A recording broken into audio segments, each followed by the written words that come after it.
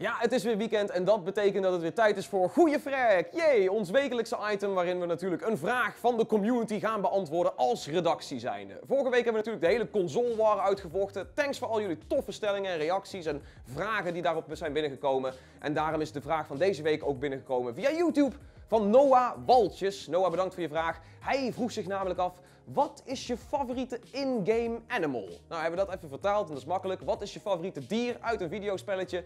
Dus we gaan het hebben over onze dierenliefde. Maar dan niet op de foute manier, gewoon op de goede manier. Maar wat zijn onze favoriete dieren? Let's go! Wat is mijn favoriete in-game dier? Uh, dat zijn er eigenlijk best wel veel, want ja, je hebt natuurlijk Pokémon, de Pikachu, mega tof. Ik had uh, Earthworm Jim, vond ik een heel vet spel vroeger. Jack, Jazz, Rabbit, was mega tof. Maar ik ga denk ik toch maar voor iets wat uh, nieuwer is. Dan wil ik gaan voor Winston, de gorilla bij Overwatch. Die is echt mega tof, want hoe vet is een gorilla die van de maan komt, mega slim is, een bril draagt en heel erg houdt van pindakaas. Ja, behalve dat, zijn ult ziet er echt mega vet uit altijd. Ik kijk heel vaak uh, Overwatch streams. Als hij dan gespeeld wordt competitive, dan uh, gaat hij in Primal Rage, zo heet zijn ult. Dan vliegt hij heel die map over en allemaal mensen kapot maken. Ja, ik vind het gewoon heel erg grappig. Een gorilla die echt en heel schattig is en heel slim. Maar toch ook wel weer heel erg dodelijk. Super goede vraag. Super lekkere vraag. Zo'n vraag waar we lekker bij kunnen stoeien. Lekker naar kunnen nadenken. Wordt het Banjo? Wordt het Kazooie? Wordt het Donkey Kong? Nee, ik neem je mee naar een, een wereld die je misschien nog niet kent. Het is een, een soort beetje niche franchise. Die is ooit een keer begonnen door een uh, hele rare, gekke oude regisseur. Je kent het misschien wel van heel vroeger, het heet Star Wars. En Star Wars heeft ook een aantal computerspelletjes. En een van die computerspelletjes ook een heel klein soort subtiteltje ooit vroeger uitgekomen. Dat heet The Old Republic.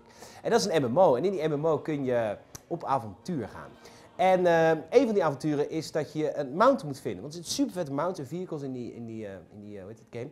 En een van de vetste updates was toen de mounts er echt in kwamen, echt de dierenmounts. De eerste mount die erin kwam was de, de Tantan. Die je misschien wel uit Star Wars episode 4. A New Hope, of zoals echte Star Wars fans zeggen, gewoon Star Wars. En die is heel vet, die kun je, kun je bereiden. Maar de beste mount in The Old Republic is de Varactyl. En dat is de, de soort van vogel slash hagedis slash dinosaurus, waar Obi-Wan Kenobi op rijdt in episode 2. Waar die een achtervolging heeft met, uh, met General Grievous. Fucking vet animal. En die had ik op een gegeven moment. Kost me super veel geld. Je kon hem natuurlijk ook zonder geld uit te geven onlokken. Maar ja, ik heb wel gewoon een leven. Dus die heb ik gewoon gekocht. Kost hartstikke veel geld. Maar die heb ik nu. En dat is echt een super vette mount. Even zo'n mount waar je mee, uh, mee voor de dag kan komen. En ik heb hem gescoord, dat weet ik ook nog, op Alderaan. En Alderaan wordt natuurlijk vernietigd. Spoiler alert! In episode 4. ik weet niet, ik hoor mezelf op een gegeven moment ook niet meer praten. Maar goed, dat is mijn favoriete dier. Ik steek hem in je zak. En uh, hartstikke goed dat je gereageerd hebt. Hartstikke leuk, sympathiek en hou er vast. Noah, oprecht een super toffe vraag. Ik consider mezelf best wel een dierenvriend af en toe. Uh, in de games altijd iets minder. En fun fact is, ik ben een kattenmens. Ik heb zelf een kat die ook vaak langskomt op streams en zo. En dan klauwt ze mijn benen open, maakt niet uit. Ik hou nog steeds van haar. Ik ben echt een kattenmens, nooit een hond gehad. Maar in games, mijn favoriete animal, heel simpel, uh, Dogmeat uit Fallout. Fallout 3 heb ik hem, ben ik hem nooit tegengekomen. En eerdere Fallouts heb ik ook uh, te weinig gespeeld. Dus ik heb, ik heb Dogmeat nooit gezien in een game tot Fallout 4. En bij Fallout 4 ja, Bethesda smijt die hond meteen in je, in je game eigenlijk. En je kunt er natuurlijk voor kiezen om hem als companion te nemen. En dat deed ik. Dat zielige armor beest.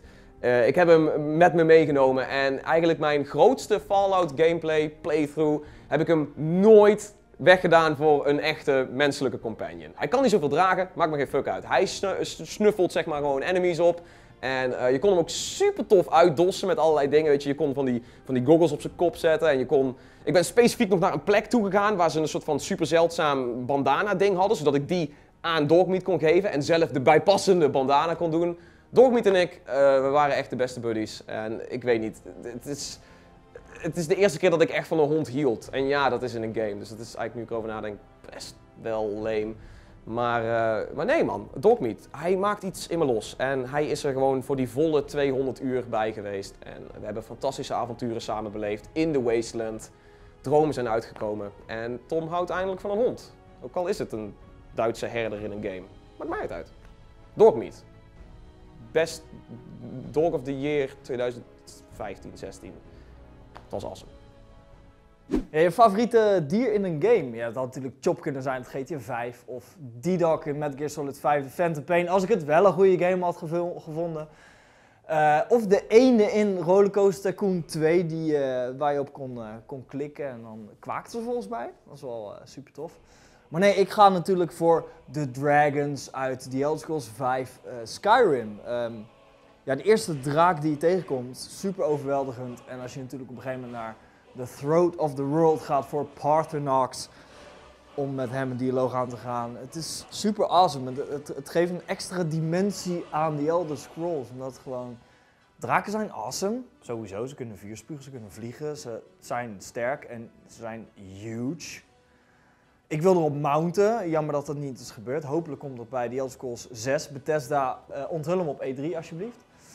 Ehm, maar draken, ja, gewoon de eerste draak is overweldigend, maar de, de draken daarna blijven awesome. Als je op een gegeven moment dat geluid hoort, dat bulderende geluid, de, de, trilling van je beeldscherm, dat er ergens in de buurt een draak is die je moet gaan verslaan met je pijl met je magic, met je zwaard of natuurlijk je, je hakbel. De...